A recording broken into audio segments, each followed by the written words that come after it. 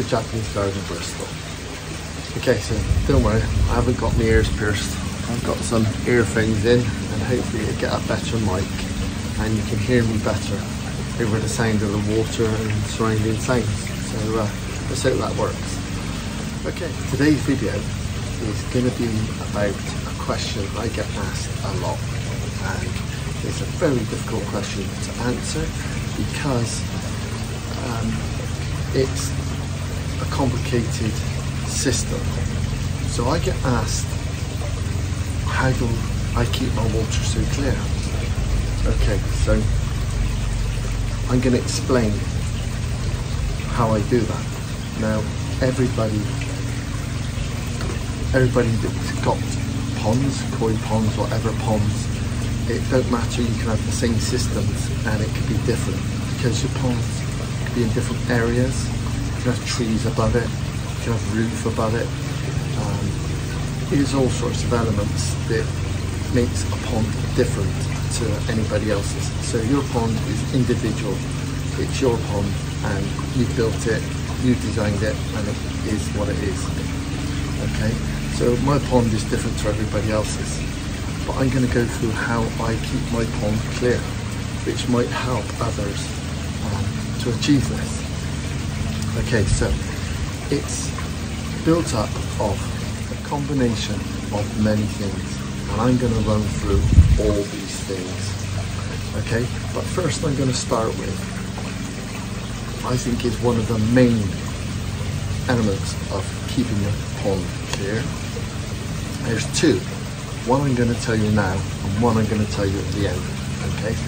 And I think they're the main two ones that keeps your pond clear okay or keeps my pond clear. Okay so the first one is okay end of autumn and all your leaves are gone.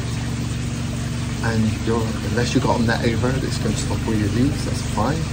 Um, but I will still clean my pond every year okay? Um, so what I would do fortunately I've got an indoor pond so I put my koi indoor okay so they go up there. I transfer some of the water up to that pond put the fish up add clean water it's gone through a chlorinator and then add the I'll put the fish in up there. Okay so then I'm able to clean this pond out. Okay so I do put them back in spring and I do vice versa. Then spring it doesn't matter if you do it at the end of autumn that water will stay clear all winter as long as there's no more leaves dropping in it it should stay clear all winter okay so you start your system up. Okay well no actually don't start your system up. So keeping your fish in the same pond keep that system running all year round. Okay that's the best advice I can give you there. Don't turn it off for the winter unless it freezes over. Okay if it freezes over you've got to stop it. Other than that keep it running. Okay because you have keep keep cleaning the water keep filtering the water um, and for the fish as well. So we've done that okay? That's the first stage. Once we've done all that then it's your system to keep the pond clean okay? You've cleaned it now the system's got to keep it clean okay? You can't expect the system to clean your pond if it's that bad you know? You've got to do it physically then your system can keep it clean okay? So then you've got to have the right system in in place to do this. So what I'm going to do is I'm going to walk around the garden or walk around my system okay? And show you my, show you what I got that keeps my water clear all year round. But like I said there is other elements to this that will uh, contribute to make it clear. So we'll see, see how it goes throughout this video. And by the end of it you should have all the elements or whatever you want to call it to keep your pond clear. Well it keeps my pond clear. It might keep yours clear but let's see. Okay so let's run through it and uh, see how we go.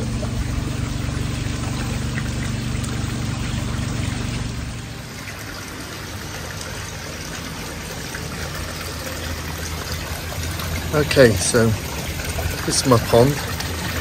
Hopefully you can see down the bottom there, you can see the pump down there, that's five foot deep. Okay, it's um, the trouble is the sun's not out today, so it's um,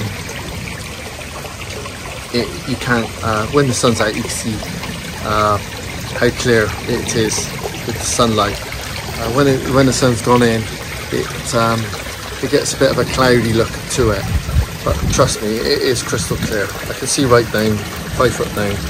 Look at I zoom on in, there, you can see, you see five foot down um, the cable ties around my pump so I can pull my pumps up.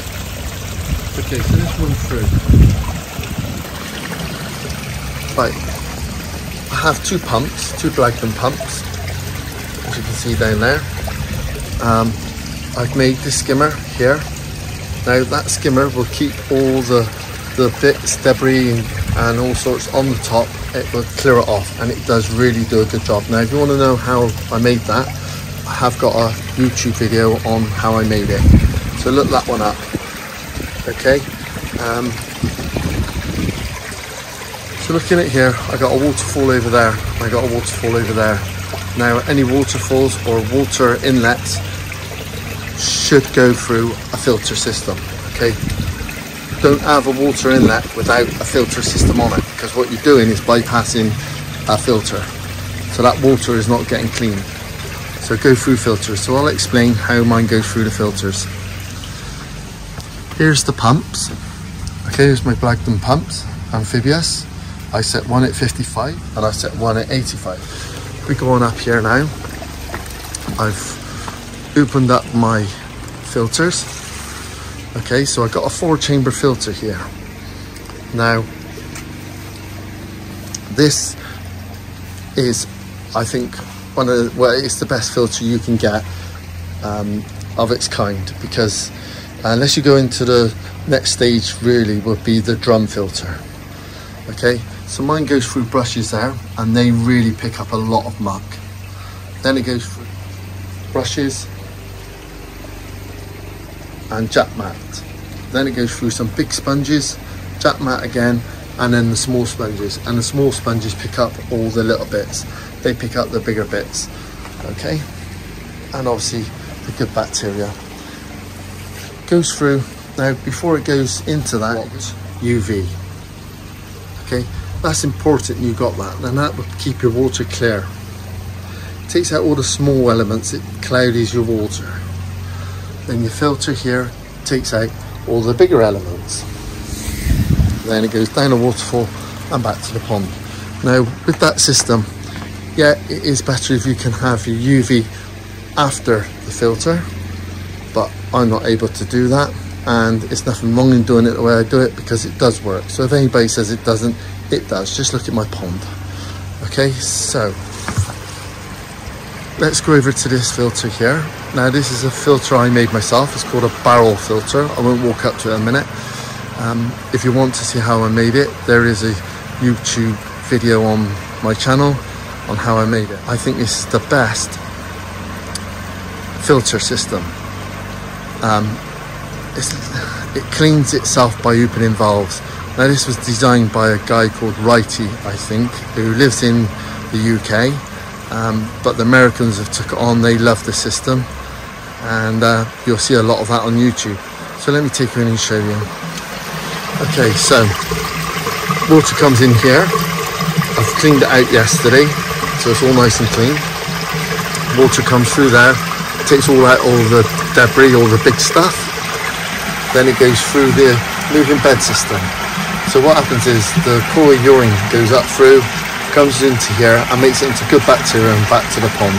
Now that is going a little bit too fast, but that's only because I have taken the air, the air off of the pond um, to so you can see the pond clearer. And so this has got a little bit more um, faster. Um, there's the valves from the air, which I will transfer over to there. Now, like I said, if you want to see any of this, I'm not going to go into it. If you want to see any of it, it's on another video on my YouTube channel.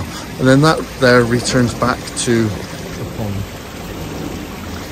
Okay, so that's all I have. That's pretty much my system. I do have the dechlorinator in, in here. Lift this up. Want to redo this bit in here, the section. I should have opened that up ready. There's my dechlorinator. Takes out all the baddies in your tap water. Okay, goes through that system. and I use that by turning the valve on here. Okay, top one's on. Anyway, so that's my system. Now, I clean my filters once every fortnight. Now you should clean them once a week. If you've got a drum filter, then that will clean it itself, which is the ideal system to have. Okay, so let's go back to what I said at the beginning.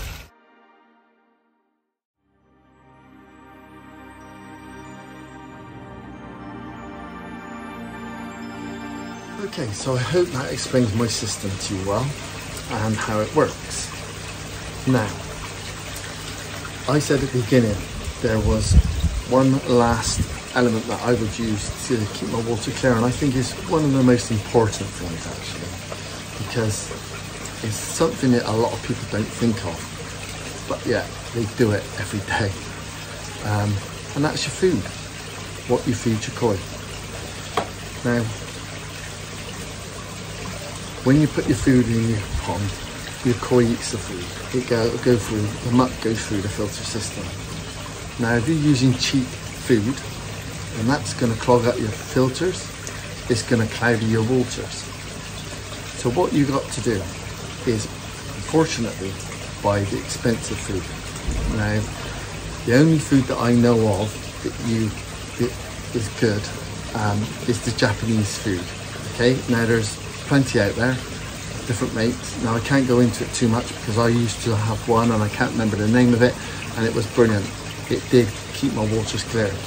Now, um, then I went back to a cheaper one and my waters wasn't as good. Now I've gone back to another expensive one again. Um, Hitari, Hikari, Hitari I think it is, I call it. I'll get a photo, I'll put it up here, okay, of the stuff I use. But I'm not saying use that stuff. Um, there is there is out there if you google it it's very um, it's, it's been scientifically made to keep your waters clear and the fish healthy. So think of that when you have got a koi pond. That when you're putting cheap food in it's not really good for your koi and it certainly isn't good for your water. So a bit more money feed them a bit more a bit less. I feed mine once in the morning and three times at night. Okay, that's all I feed mine, and it's a cap full of a of a sweet jar. I'll show you. Hang on there. There we go. If you see that there, that's the amount they get three, four times a day. One in the morning, one in the uh, three in the evening. Also, I do give my a treat, which is mealworm. Okay, and they get a cap full of that as well. Now with the size of the koi I got, which are uh, 26 inches long, um, they do eat a lot, um, but I keep it down and try to keep it healthy. Okay, I also feed hand feed prawns every now and then, which is expensive, but it's nice to treat and they eat out of my hands. Okay, so that's what I do. There's the balance. Good food, good filters, clean your pond into water at the end of autumn okay? So there we go. That's that's the main element. And your system you've got you've got to have a good filter system to keep it clean. Okay? Before I go there is one more element and I forgot it. And the trouble is I haven't got the container for it. Now in the summer when you when the sun's on your pond you're going to get algae growing. No matter what system you got you're going to get algae growing unless you've got a roof over your pond. If you've got a roof over your pond you probably won't get it okay? It's the sun that causes this to grow. Okay so what you need for that is something like Cloverleaf um, answer weed uh, to um, I'll do I'll put a picture up here and you can have a look um, at what I use. Uh, there is other ones out there uh, that can do the same but some you've got to keep keep um, treating the pond with. This one you do it once twice a year and it's done okay? So that's another one I use to keep the pond clear so it's the filters, the food, clean the pond, and algae removal treatment. Okay, so that's how I keep my pond clear. I hope it all makes sense and um, I hope you enjoy my videos and I'll catch you next time.